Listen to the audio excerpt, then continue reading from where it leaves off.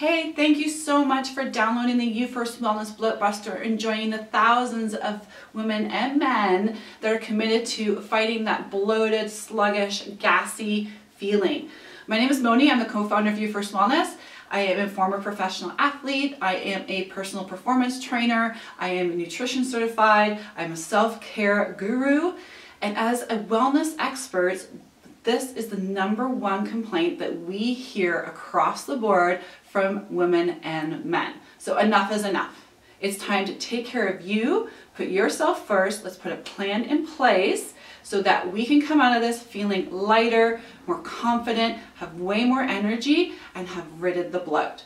So first things first, you're not going to be doing this alone. So make sure that you read through the document that you've downloaded, the Bloat Buster. You've put your intention in place. And then the next few days, you're going to go to your inbox and see some follow up emails from us because we are passionate about support and accountability and providing wicked information. So things such as like how you're going to prioritize what matters to you actually into your day.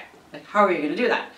Um, if you haven't done a sit-up in like six months to a year, the five top exercises that you can do today to get you started working on that core and tummy. Snack sabotage. Is snacking sabotaging your weight efforts?